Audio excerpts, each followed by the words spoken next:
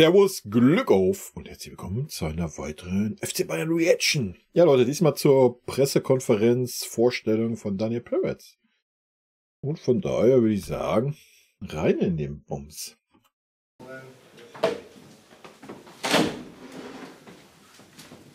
Yes.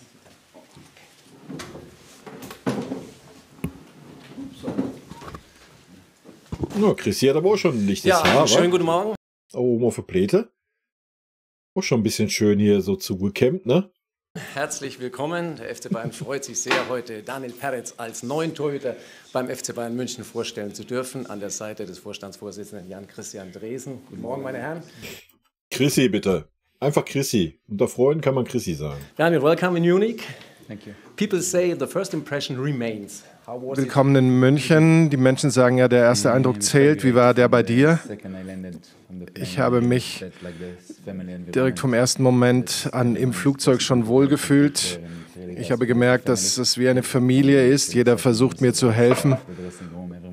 Und alle Mitarbeiter, alle in der Umkleide haben mir gleich das Gefühl gegeben, dass ich hier zu Hause bin und äh, werden mir helfen, um mich äh, an dieses Land und an den neuen Verein zu gewöhnen. Herr Dresen, ist die Verpflichtung von Daniel auch eine Art Happy End?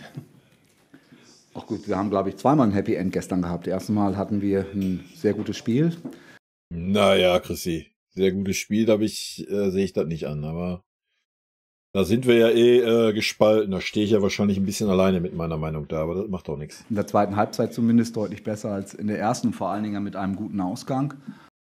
Das ist richtig. Zweite Halbzeit war auf jeden Fall besser wie die erste. aber auch nur 25 Minuten war. Danach war dann halt so, ja, wir nehmen auch 20 Gänge raus und äh, achten ein bisschen drauf, dass wir nicht den Rückwärtsgang noch einlegen. Und natürlich äh, mit Daniel jetzt äh, in der Tat ein Happy End nach Ja, was denn jetzt? Daniel oder Daniel? einer Suche nach einem Torwart, äh, das ja verschiedene Wendungen gehabt hat, diese Zeit. Ähm, und wo wir ja auch unsere Überlegungen äh, verändert haben im Laufe dieser Suche, auch durch die äh, deutlich fortgeschrittenere Genesung äh, von Manuel. Deswegen sind wir sehr, sehr glücklich.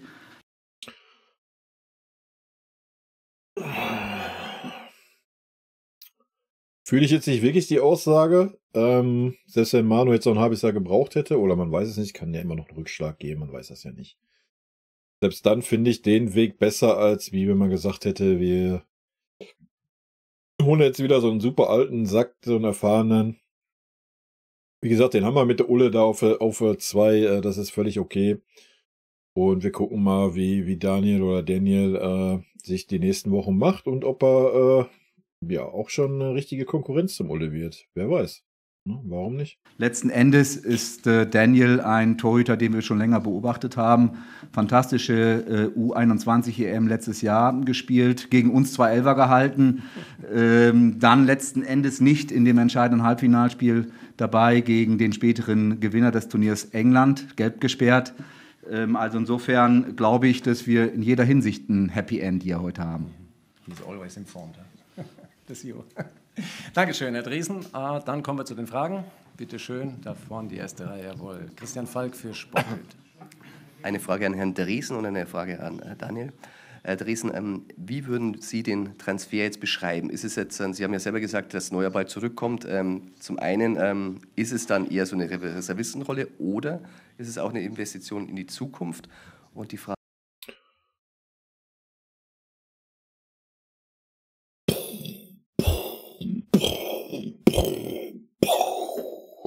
Können noch 10 Minuten so weitermachen. Nee, man verpflichtet natürlich einen 23-jährigen Torhüter äh, als, als Reservist. Und plant nicht, dass, es, dass er sich vielleicht äh, die nächsten ein, zwei Schritte bei uns macht und ein Investment in die Zukunft ist. Ist doch logisch. Frage an Daniel. Ähm, wie wurdest du überzeugt, ähm, zum FC Bayern zu kommen? Du warst äh, Stammtorhüter und jetzt hast du natürlich einen Wettkampf. Äh, Manuel Neuer droht äh, zurück. Junge, der kommt aus der ersten israelischen Liga. Wenn da ein Top-Club kommt, äh, wie der FC Bayern München, äh, dann gibt's nichts zu überlegen. Ja, dann nutzt man die Chance. Und wenn er jetzt zwei Jahre auf der Bank sitzt, äh, dann kann er immer noch sagen, ja, weißt du was, war schön hier, aber jetzt habe ich die, die Schnauze voll und gehe halt wieder. Aber ist doch klar, dass man so eine Chance nutzt. Ja? Kommt ja jetzt nicht von, der, von irgendeinem englischen Club aus dem Mittelfeld, wo er Stammtorhüter war. Also, also die beiden Fragen, sorry. Leute, die kannst du dir aber auch mit ein bisschen Allgemeinwissen und ein bisschen Grips in der Birne, was Fußball anbelangt, selber beantworten. Rückzukommen und Spielzeit könnte schwieriger werden. Ja,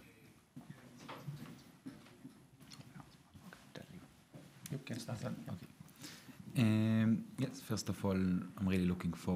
Ja, ich freue mich sehr, dass ich äh, mit allen äh, Torhütern zusammenarbeiten kann. Und die sind sehr erfahren, spielen schon so seit vielen Jahren auf dem höchsten Level und ich äh, freue mich darauf und glaube, dass wir uns wirklich zu höchsten. Ja, man muss ja auch mal sagen, der Cleansy hat sich ganz schön verändert, oder? Hat der nicht Cleansy bei uns die 18 gehabt? Wenn nicht alles täuscht? Hat aber auf jeden Fall äh, eine ambitionierte Nummer. Ne? Muss auf jeden Fall mal in eine Tonne reintreten. Leistungen pushen können. Natürlich ist Manu mein Vorbild. Es war großartig. Ich konnte ihn gestern treffen. Er ist ein toller Typ. Und ich freue mich wirklich darauf, mit ihm zu trainieren. Und natürlich bin ich ein Sportler. Ich möchte den Wettbewerb. Und das gehört zum Fußball, dass der Wettbewerb immer da ist. Und ich werde mich zeigen. Ich glaube, mit dem, was der Daniel gerade zum Schluss gesagt hat, das trifft den Nagel auf den Kopf. Ähm, 23 Jahre ist Daniel alt. Ähm, dieser Altersunterschied ist äh, ja gegenüber Manuel enorm und er kann ganz viel ähm, lernen von Manuel, aber auch von, von Sven. Und ich glaube, die Verpflichtung von Daniel ist in der Tat das, was Sie gerade gesagt haben, Herr Falk. Es ist ähm, Perspektive in die Zukunft. Ja, ist doch logisch. Junge, das von, vom Falk, Alter. Also, das waren noch zwei rhetorische Fragen, Alter. Die hättest du dir doch selber beantworten können. Äh, als Torhüter bist du ja äh, oder hast du ja ein sehr langes Sportsleben vor, vor dir und ähm, ich bin sicher, dass wir mit Daniel ein Stück weit Zukunft planen können. Deswegen ich habe es auch in einem anderen Video gesagt, wir müssen halt nur hoffen, dass wir es dann auch so machen. Ja? Dass wir dann halt auch sagen, wenn er wirklich stark ist und die Form hat, dass er dann sich auch mal zeigen darf. Ja? Dass er dann halt vielleicht Pokalspiele kriegt oder sonst was. Wenn man ihn jetzt halt zwei Jahre irgendwie nur für Bank versauern lässt, ohne irgendeinen Einsatz zu haben, dann ist das natürlich auch nicht der Way to go. Na klar wird er jetzt ja in der ersten Zeit äh, viel lernen. Ja? Ist ja was ganz anderes, ob du in der israelischen Liga die Nummer eins bist oder ob du bei uns einen Manuel Neuer und einen Ulle da hast, die super erfahren sind. Da wird er natürlich sehr viel mitnehmen können. Aber da muss er halt auch die Chance kriegen, ähm, das zu zeigen, zu dürfen, was er dann mitgenommen hat. Ne? Und auch die Chance, ähm, wenn Manu dann abdankt, dann auch die Chance zu kriegen, ähm, ja, ich habe jetzt hier zwei Jahre gemacht, ich habe das Talent, ich habe mich weiterentwickelt, ich habe das mitgenommen. Und nicht, dass man dann wieder sagt, so, ach komm, wir investieren jetzt wieder 60 Millionen und setzen dem armen Jungen dann da irgendwie da einen, einen vor die, vor die äh, Nase. Ne? Da bin ich sehr gespannt, ob wir das hinkriegen. Aber da, da macht mir unser neuer Sportdirektor ja ein bisschen Hoffnung leer. Schon so ein bisschen auf Talentförderung gestielt ist. Deswegen haben wir Daniel ja auch mit einem Fünfjahresvertrag ausgestattet. Dann hinten links Carrie Howe für Sport 1, bitte. Hallo, eine Frage an äh, Daniel. Wann und wie hast du vom Interesse des FC Bayern erfahren? Was ist dir in dem Moment auch durch den Kopf gegangen, als dann der Anruf kam, dass der Wechsel klappt? Um, the first time that I've heard that Bayern is interested in signing me, um, das erste Mal, dass ich äh, von dem Interesse gehört habe, bin ich gerade vom Training gekommen. Ich wurde angerufen und habe von dem Interesse erfahren. Es ist ein großer Verein. Ich äh, bin schon seit ich ein kleiner Junge bin Fan dieses Clubs. Und das ist alles. Ich habe mich wirklich sehr gefreut. Okay, dann einmal hier vorne bitte. Tobias Altscheffel für Sportbild. Äh, Frage an Daniel wäre, wie das Gespräch mit Thomas Tuchel war, der dich, glaube ich, angerufen hat letzte Woche und nochmal überzeugt hat von diesem Transfer. Wie war das, der Moment, als Thomas Tuchel am Handy äh, angerufen hat? Und an Er hat aber auch Festnetz angerufen. Oder über Teams.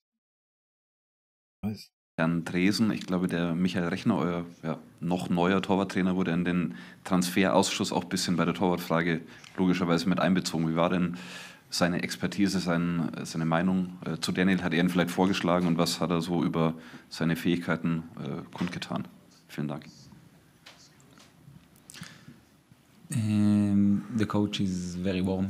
Der Trainer ist sehr warmherzig und er uh, behandelt die Spieler wie Söhne. Ich fühle mich hier wirklich wohl und willkommen. Und ich fühle mich hier uh, wie zu Hause. Als wir telefoniert haben, haben wir über mich, über meine Situation gesprochen, wie es im Moment läuft und wie es dann sein wird. Und das war es dann schon. Ja, da hätte ich ja gerne mal zugehört, was er eben so ins Ohr geflüstert hat, wie es sein wird. In der Tat, Michael Rechner ist zum, zur Fragestellung Torwartsuche äh, eingebunden gewesen im Transferausschuss. Ja, wäre ja auch schlimm, wenn er das nicht wäre als Torwarttrainer. Sollte er eine gewisse Expertise haben. Ne? Und wir haben ja verschiedene Namen diskutiert und auch äh, ganz unterschiedliche nee. Torwart. Haben wir gar nicht mitgekriegt, oder? Habt ihr das irgendwie mitgekriegt, dass wir äh, viele Namen diskutiert haben? Auch vom Alter her äh, diskutiert. Und bei Daniel Perez war es 100% eindeutig. Also ähm, er hat ihn beschrieben als jemand mit ganz viel Potenzial, Spitze auf der Linie, ähm, Zukunft für den FC Bayern und äh, nicht den Hauch eines Zweifels gelassen. Und deswegen hat es uns dann die Entscheidung auch leicht gemacht. Ja, und für kolportierte 5 Mille, äh, was hast du zu verlieren? So, da besteht kein Risiko. Also kein finanzielles. Dann ist Manuel Bunker an der Reihe für TZ und Merkur. Eine Frage an Daniel, eine Frage an Herrn Dresen. Daniel, wie würdest du denn deinen Torwartstil beschreiben? Hast du den Ball auch gerne am Fuß? Bist du einer, der auch, ja, wie Manuel Neuer, so ein bisschen den Libero macht, ins Risiko geht, rausläuft? Also, dass du mal deinen Torwartstil einfach ein bisschen beschreibst. Und Herr Dresen, ähm, Jetzt gibt es immer noch die Frage nach der Holding Six, die auch Thomas Tuchel gestern mal mehr, mal weniger ausführlich beantwortet hat. Können Sie da Licht ins Dunkel bringen? Also bekommt er kommt wirklich keine Holding Six mehr oder darf sich Thomas Tuchel doch noch Hoffnung machen, weil er meinte auch gestern, äh, die Zentrale ist ein bisschen dünn besetzt mit drei Spielern.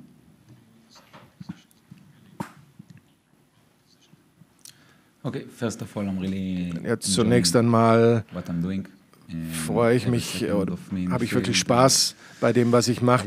Jede Sekunde auf dem Feld möchte ich immer weitermachen mit dem, was ich tue. Mein Stil ist, ich bin sehr aktiv, ich habe sehr viel Energie, ich möchte immer helfen und immer gewinnen. Also Und mein Charakter gehört auch dazu. Ich möchte mich immer beteiligen. Ich möchte immer nahe an den Verteidigern sein. Aber ich möchte dann nicht zu viel darüber sprechen. Ich hoffe, Sie werden ja, es sehen. Warum habe ich mir irgendwie gedacht, dass die Frage heute auch kommt, gell? Ähm, gell? Zum Glück haben wir ja noch ein paar Tage bis zum 1.9. und so lange würde ich tatsächlich um Geduld bitten. Ähm, wir werden sehen, wir sind in einem permanenten Austausch, aber Sie haben das jetzt schön mit dem Licht ins Dunkel äh, gesagt. Ich glaube, es bleibt noch ein bisschen dunkel die nächsten Tage. Dann wechseln wir zu den israelischen Kollegen, Amit Löwenthal. Ja, ähm, Daniel, äh, äh in Hebräisch oder Englisch? Englisch, ja. Englisch. Uh, Daniel, uh, first of all, just a second. Um, Daniel, was, gab es einen Moment während der Verhandlungen, in dem du gedacht hast, äh, ich komme doch nicht zu Bayern, es waren sehr harte Verhandlungen. Hattest du gedacht, dass du vielleicht doch nicht hierher kommst? Ist es jetzt schwieriger gegen Sahavi oder gegen Harry Kane?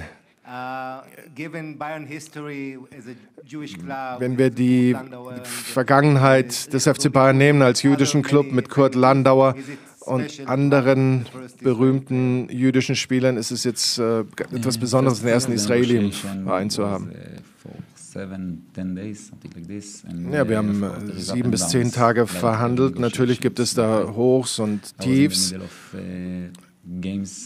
Ich war dann auch noch äh, mit Spielen beschäftigt, hatte da nicht so viel Zeit, darüber nachzudenken. Ich habe meinem Agenten vertraut, ich wollte zu Bayern und ich äh, wollte, dass sie alles tun, damit das auch klappt. Ich habe nur versucht, mich auf meinen Fußball zu konzentrieren und das war es dann schon. Und was ist mit Kane und Sahavi? Ich habe bislang noch nicht so viel mit dem Team trainieren können, nur einmal kurz, das war sehr gut. Aber ein paar von ihnen haben schon sehr viele Tore erzielt, 300, 400. Und äh, ich freue mich darauf, äh, mit ihnen, mit den besten Spielern der Welt zu trainieren und äh, mich wirklich zu pushen. Ja, ähm, in der Tat. Es ist für uns das erste Mal ein Spieler aus, aus Israel bei uns in den Reihen zu wissen. Das ist vor dem Hintergrund auch unserer jüdischen Geschichte, die der Club auch hatte oder hat, ähm, natürlich was Besonderes. Auf der anderen Seite spielt es für uns eigentlich keine Rolle. Ähm, Herkunft, Geschlecht, Orientierung ist für uns als weltoffener Club ähm, egal. Weil, so soll es auch sein. Weil uns geht es um eins, wir wollen möglichst guten Fußball spielen. Und ähm, es gab ja schon einige Israelis auch ähm, in der 60-jährigen Bundesliga-Geschichte. Ich glaube, Samuel Rosenthal war 1972 der erste bei Borussia Mönchengladbach. Dass es bei uns so lange gedauert hat, okay. Aber dafür wird es auch hoffentlich eine ganze Weile halten jetzt äh, mit, mit Daniel. Dann bleiben wir gerne bei unseren Gästen bitte hinten, ja? Danke. Sorry. From the Israeli Public uh, TV, uh, Daniel, if you want to feel uh, want to reply in Hebrew, we'll be happy. But uh, first to the. Again, Erste Frage. Im Fußball geht es natürlich um alles, aber es ist, äh, geht auch um die Geschichte. Er ist der erste israelische Spieler hier bei Bayern und ich äh, wüsste gerne etwas über die Nummer 18. Welche, wessen Idee war es? Symbolisiert es das, was ich denke, dass es symbolisiert? Wie sind Sie darauf gekommen? Und die Frage an Herrn Dresen, Sie haben über seinen Charakter gesprochen. Warum ist so wichtig, dass eine Person wie er Bayern sich nun anschließt und nicht jemand anders? Daniel, dein can you share his advice about how to get into the club? Können Sie über, über, den Einfluss Ihres Vaters sprechen bei diesem Wechsel?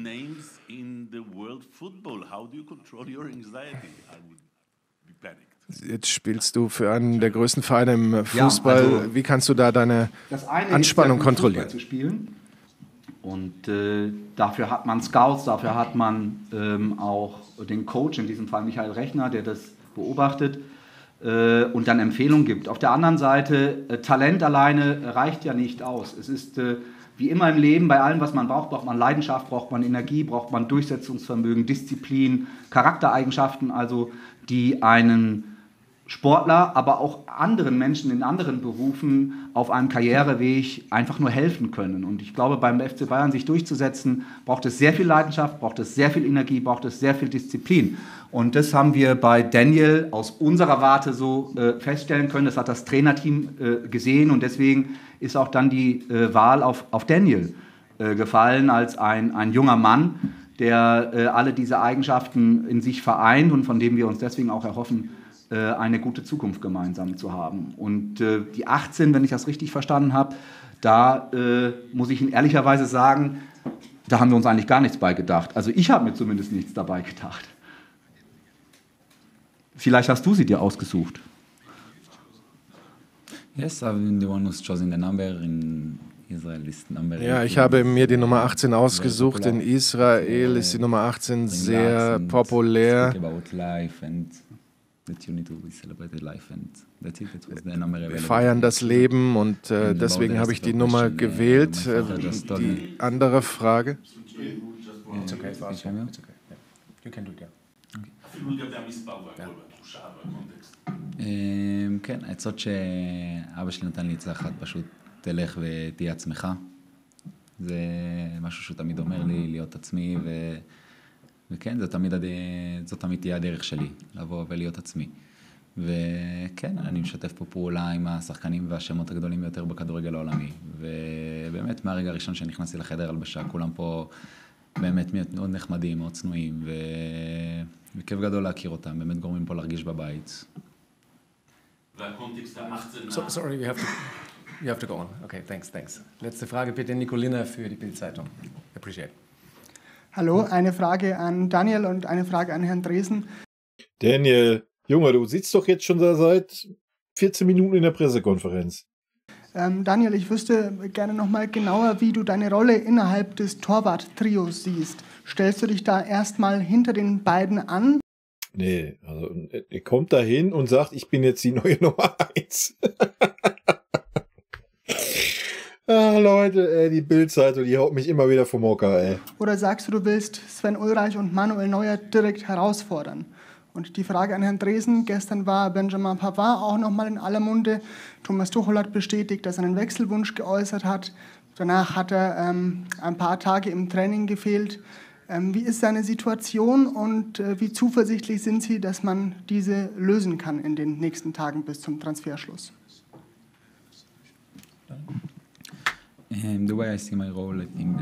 Ich sehe meine Rolle folgendermaßen. Ich möchte spielen. Und ich möchte so gut trainieren und so gut spielen, wie es einfach nur möglich ist. Ich möchte dem Trainer zeigen, was ich kann. Und das ist die ganze Situation. Ja, in der Tat. Benjamin äh, Pavard war die letzten Tage äh, beim Training nicht äh, dabei. Dem, ging es nicht so gut, hatte äh, Bauchschmerzen, hatte Rückenbeschwerden. Hatte Bauchschmerzen. Und äh, deswegen äh, ist er dann auch gestern nicht im, im Kader gestanden. Mich ähm, weg, ey. Wir haben, wie gesagt, vorhin ja schon mal erwähnt, noch ein paar Tage. Ich bin eigentlich recht zuversichtlich, dass wir die Hallo, der Christi, der Christi war Finanzvorstand jahrelang bei uns. Der ist ja der Erste, der weiß, dass wir nicht auf die 30 Millionen verzichten, die wir jetzt für Benji kriegen, wenn wir nächstes Jahr keinen Cent kriegen. Also der ist ja nicht doof. Der hat ja nicht auf dem Baum gepennt. Also da müssen wir uns keine Sorgen machen. Das ist jetzt halt ein bisschen Hinhalterei. Am Ende des Tages wird er wechseln und gut ist. Thematik noch in diesem Transferfenster werden abschließen können. Vielen Dank fürs frühe Kommen. Dankeschön auf der Bühne. Dann wollen wir die Nummer 18 noch einmal hervorheben für das abschließende Foto. Thanks okay, nochmal, Daniel. Sure. Und Herr Dresen, einmal bitte. Ja. Ganz präsentieren. Wieder was gelernt heute zur 18. Hallo. Wieder was gelernt zu 18. Ja, haben wir alle Leute. Ja. Ich denke, äh, sehr sympathischer Mensch. Ich bin sehr gespannt. Wie gesagt, ich hoffe, er kann den. Ich kenne ihn nicht vom Torwartspiel. Vielleicht ist er auch schon stark genug, um den Ulle da äh, herauszufordern. Ähm, ansonsten hoffe ich, dass er die nächsten ein, zwei Steps bei uns macht und dass er dann vielleicht eine Zukunft bei uns hat. Ne? Und ähm, das wäre doch schön, dass man vielleicht auch mal den Weg schafft zu gehen und man Spieler holt und den man in ein bis zwei Jahren so weit entwickelt, dass er dann auch ein Stammspieler und ein Leistungsträger bei uns werden kann. Das wäre doch schön. In diesem Sinne, Leute, kurz und schmerzlos, rüber, Grüße gehen raus, bleibt gesund. Ähm, wir hören uns wieder. Wir sind ja in der finalen Woche, wenn irgendwas passiert. Ich gehe davon aus, dass wir noch mindestens äh, ein oder zwei Spieler verpflichten. Ich denke aber eher eine Laie, aber mal abwarten, wer weiß. Und ich bin gespannt, äh, ob ein Gravenberg noch verliehen wird. Ich denke, dass ein Pavard noch wechseln wird, ist, steht außer Frage. Aber dieser Tage ist auch wieder nichts unmöglich bei unserem Club. Von daher mal abwarten. Tschüssi.